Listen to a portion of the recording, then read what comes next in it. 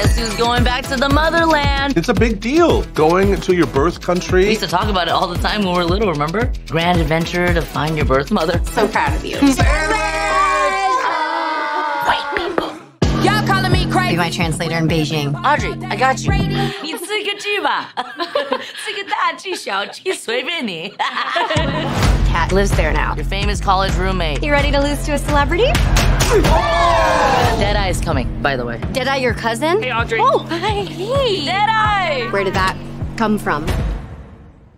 You know, I think I get it. I called the adoption agency and she lives in Haiching. Okay, will you guys come with me? Fuck yes, bitch! I love a grand adventure. Oh, hi. So nice to see an American. What do you do for work? Hmm? Hmm? It's the cops are doing a back check. Oh my god, you're a drug dealer?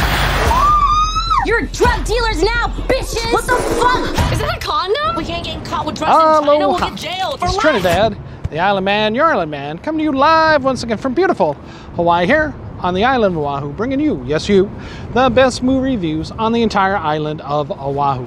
And yes, this is Trinidad, the Island Man, your Island Man. And uh, today, opening weekend of the new movies, um, what is this, July 7th, I went and saw the new movie called Joy Ride. Uh, and well, without further ado, remember our rating scale. Shaka thumbs up. It's good to see. I recommend it. Shaka thumbs down. It's junk. I don't recommend it. And overall, for Joy Ride, uh, the kind of raunchy uh, comedy, uh, it is overall a shaka thumbs up. Uh, now, you know, when I first initially saw the the trailer for this movie uh, in the theater, um, I initially liked it, and then it got into kind of the raunchy drug stuff that you see in the trailer. Uh, that actually I've shown you just in the trailer here. Um, and I was a little worried. You know that that kind of that kind of takes me a little bit. That's a little bit out of my comfort zone there. You know. um, but you know, fortunately, it was it wasn't too yeah, bad. Fortunately, Uh, it wasn't too bad. Uh, let me just say that uh, there is a lot of raunchiness in this.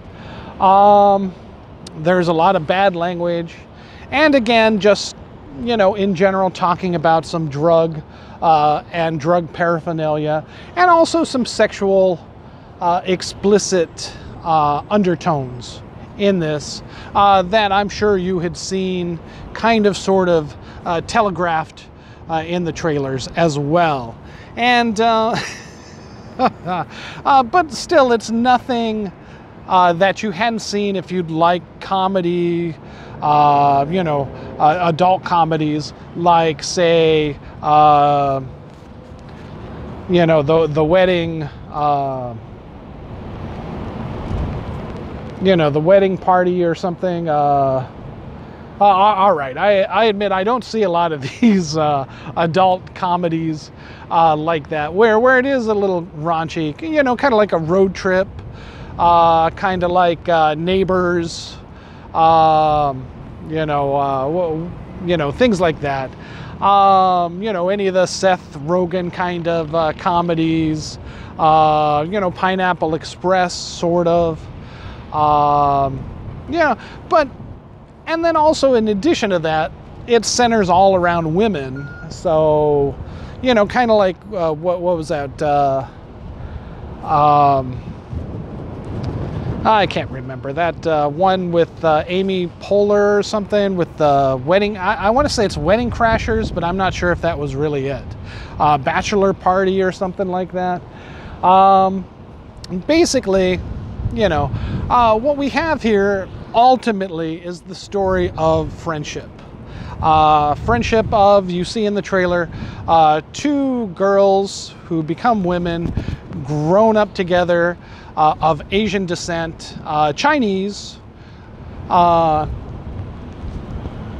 living, you know, yeah, it looked like the Midwest to me, but apparently it turns out to be Seattle in this movie. So why it's so, um, you know, why these Asian girls, uh, as young children and, and throughout their teens, are kind of uh, you know, looked down as a, uh, you know, kind of a rarity is is doesn't make a lot of sense to me, I, I, which is why I really thought it was the Midwest where this was taking place at.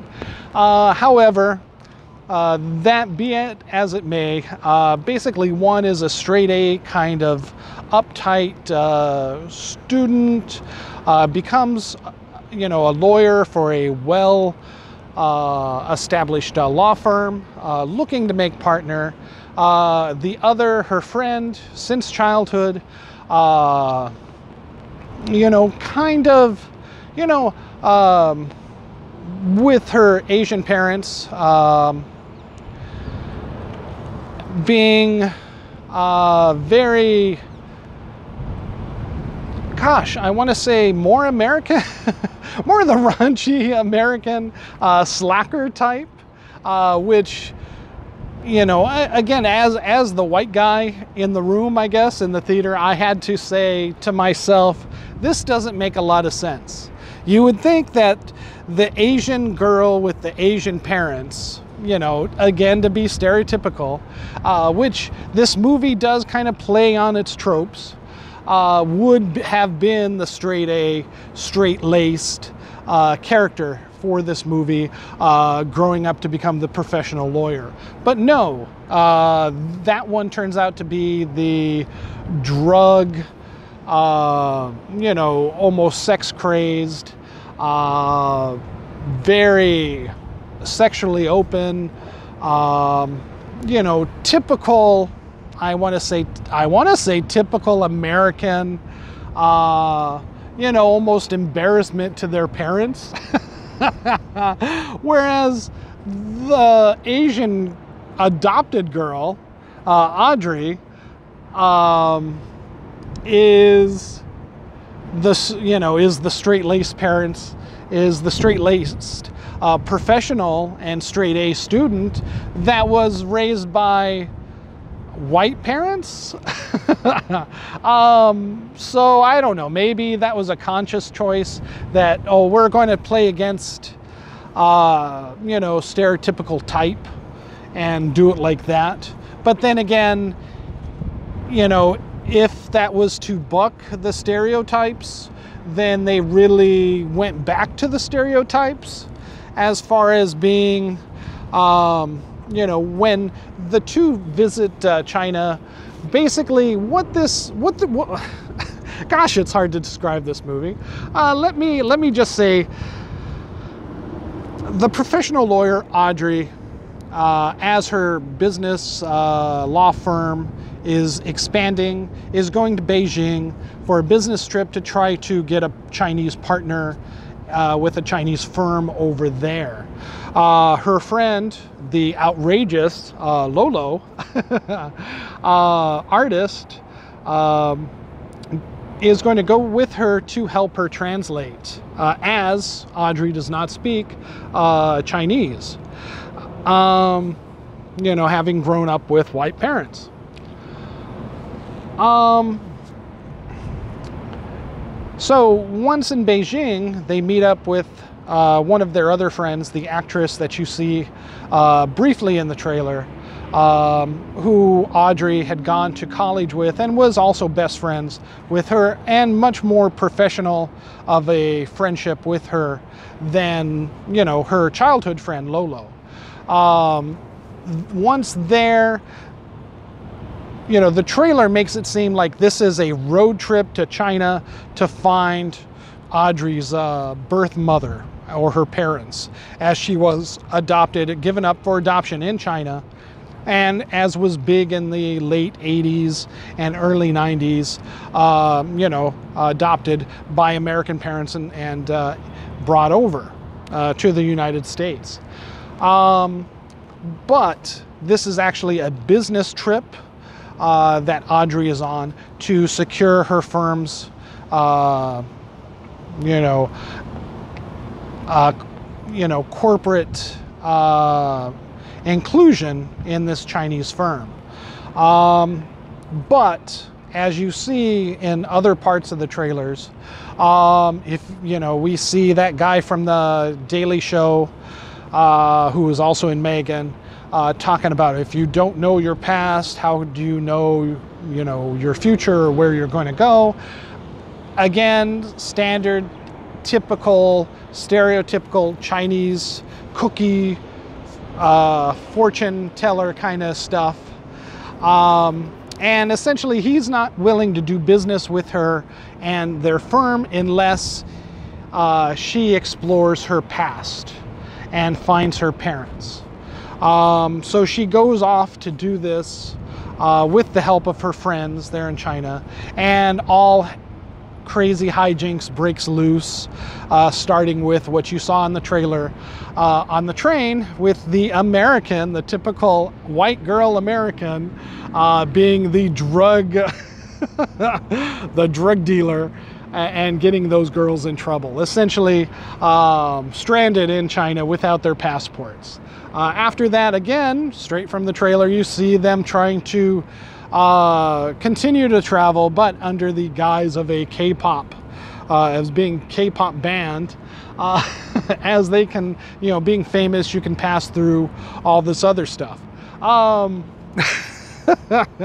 which um, you know, I can't speak towards, but okay, okay. I, I, you know, it is, it does provide some funny, uh, hilarious moments there. Uh, I, I did find it being a little atypical, well, uh, very too typical, I guess. Uh, you know, that the white uh, person is uh, the bad drug dealer. Um, you know, along with the tropes of, you know, it seemed that the Audrey Lolo characters were reversed. Uh, you know, again, in their professionalism, uh, you would think that the American uh, grown, uh, the American raised by American white uh, parents would be the more of the slacker than the one raised by the Chinese native Ch- Chinese parents. Uh, but, you know, again, maybe that's what they were going for was to break that trope. But then again, they keep several others, like the white, uh, you know, drug dealer gal on the train, um, the fortune cookie uh, kind of uh, owner of the law firm in Beijing saying, oh, you know, you must seek out your past to understand your future, kind of a thing. But, you know, okay, I get it. It wouldn't be much of a story without that push. Uh, but again, I thought it was going to go directly was, oh, we're looking for my parents. I want to go find her. You know, maybe these gals just came out of college, etc. And it's going to be a journey of self discovery. Uh, what is actually a business trip turns out to be a journey of self discovery as the friends bond while making it through uh, China uh, on their uh, on their wits and guile. Uh, and maybe some of their sexuality as well. Um, for as bad a language and, enough, and as much drug paraphernalia is not only mentioned and uh, sexual situations uh, presented in this film, there is no nudity at all, which you know I find somewhat unfortunate. Um, well, there is maybe one hint of nudity, but you know there were several opportunities to see some good boob shots that uh, were totally missed. so again, breaking a standard trope uh, that you would normally see in a movie like this. Um, so again, I guess the comedy is pretty good. The message is pretty good overall as well. Um, as far as the bonding of the friendships. And then, you know, there is something that occurs that breaks up these people, uh, these friends, and they have to uh, overcome that and try to uh, resolve things to, again, get their friendship back on track. Um, one, you know, uh, again, talking about stereotypes, I will go ahead and uh, give you a spoiler. It as they're looking for Audrey's uh, birth mother in China, it is discovered. Uh, well, they end up staying with Lolo's uh, relatives, uh, Audrey's childhood friend in China. They all think Audrey is the prettier one, the smarter one, and then it is revealed at the adoption agency that Audrey's mother was not actually Chinese and that Audrey is not Chinese, but she was Korean. At which point, once the family, the Chinese family, finds that out, they say, Oh, you must get out of here. We hate you. Ah. you know, a very stereotypical thing, as, you know, mm, some of the Asian communities don't get along. Uh, and I'll just say that. Uh, so it plays towards those stereotypes as well. Um, you know, which it's like, uh, you know, as they pick and choose which stereotypes they which wish to uh, bonk and buck the system, uh, they easily fall into the trope of several other stereotypes and continuing to perpetuate that as well. Um, okay.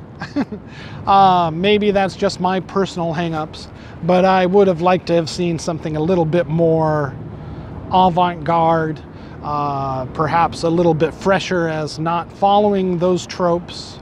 Um, you know, something as innovative as, oh, the Amer, you know, as they did in the beginning with Audrey's parents being the American uh, parents, be raising the smarter, more intelligent, your typical Chinese or Asian child being uh, much more studious than the um, your standard American kid, which is what Lolo, her friend with the Chinese parents, turns out to be. so that was an interesting buck of, of stereotypes there, but then they play towards all these other ones. Um, you know, that's just something that kind of irked me a little bit. It's like, oh, why try to be innovative and then just fall back into these tropes? Uh, but overall, it was fun. I did get plenty of laughs. Uh, unfortunately, at the expense of, of, you know, maybe at, at a racist uh, expense that I laughed because as you know, this theater was it wasn't full packed, but you know, there were several theaters at this same time, or you know, uh, so I think this box office will come in pretty high. It may not be number one, but it will definitely be. Well, actually, it might come in at number one. Uh, if not, it'll be number two for the box office this weekend, being one of the newer movies out, uh, Joy Ride. We'll just have to see. Um, but I mean, I was like the only one laughing that it was, you know, that once she was found out that it was Korean, that she was Korean and the Chinese family, you know, said, oh, I didn't want anything further to do with her there in Beijing. I found that extremely funny because it's like, oh, I know that stereotype, um, you know, but I don't think anybody else in the theater uh, of of the group that I was watching it with was cracking up as much as I was because that is so true, and maybe that's, you know, what they were uh, kind of uh, hopefully ashamed of. Whereas I've just found it, you know, it's like, oh, this is the typical stereotype, you know, uh, like your average white guy, I guess, or your average haole, I guess. Um, but other than that, again, like I said, the comedy is fresh and funny, uh, maybe leaning a little bit too much on the sexuality aspects of it. Uh, if it was guys, it probably wouldn't have leaned that heavy. If it was a Seth Rogen film, it probably just would have leaned extra hard on the drugs. Uh, but you know, they kept the drugs and the sexuality, um, you know, of these women, um, you know, evenly uh, matched throughout the whole movie. So, uh, you know, stuff I don't really get into all that much, but still, uh, you know, the comedy was funny and it did make me laugh, whether it should have or not at certain scenes. Um, I'll leave that up to you uh, to watch out for and, and enjoy or hate. It's all up to you and your perspective. But again, overall, a shaka thumbs up uh, for an interesting uh, take, definitely funnier than Crazy Rich Asians that had come out a while ago. And although this is in the same vein, it is definitely a different genre of film, being more of the raunchy comedy type. Uh, not normally associated with uh, uh, with, you know, uh, Asian fare, I guess. Um, so yes, I would say that uh, if you want to see some crazy uh, rich Asians or some crazy rich Asians, check out Joy Ride, and you won't be uh, dis- disappointed. You might be a little shocked at times from the comedy, but overall, a shaka thumbs up. All right, mahalo and aloha.